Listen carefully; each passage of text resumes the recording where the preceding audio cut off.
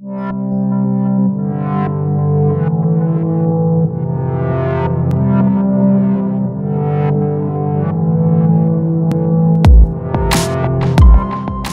yo creo que el arte es el espacio de mayor libertad que existe en una sociedad.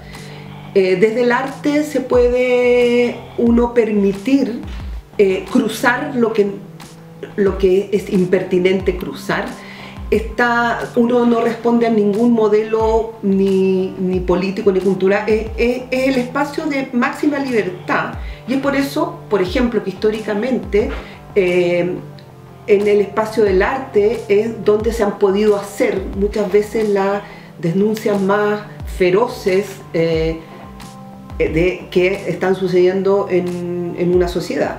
Entonces, eh, en ese sentido, en, las artes, eh, hay diversidad porque hay libertad.